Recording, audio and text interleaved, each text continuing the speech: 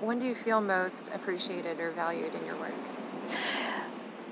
I love going to research conferences and presenting work that the USGS has done, um, stud studies that are exciting and cutting edge, and like especially this integrated science with all of the disciplines involved, um, and getting feedback from colleagues who are usually not government scientists about um, how valuable the work is, what a great contribution, how unique our approach is.